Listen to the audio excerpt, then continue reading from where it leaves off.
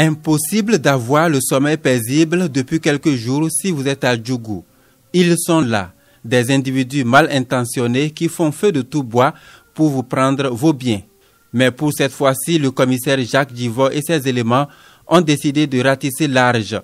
Les résultats sont là, des biens et même du numéraire retrouvés auprès des mises en cause. Il s'agit en fait euh, de la dernière opération, c'est-à-dire un cambriolage qui s'est produit dans la nuit du 25 au 26 juillet 2016 sur l'axe Ndali, plus précisément au niveau du village Servessi. En ces lieux, hors la loi, ont pris l'habitude d'opérer. Cela nous a amené dans un premier temps à modifier notre dispositif de sécurité de conseil avec les collègues gendarmes.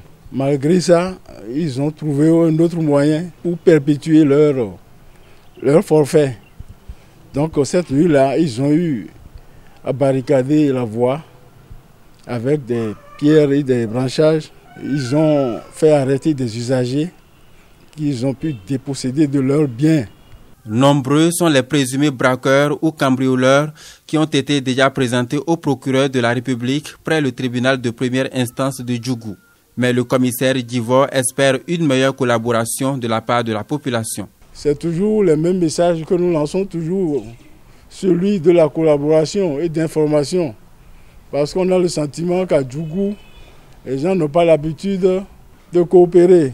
C'est à cela qu'on les convie de coopérer étroitement avec les forces de défense et de sécurité qui ne sont qu'à leur service. On est ici pour ça. La police promet de frapper encore dur les tout prochains jours.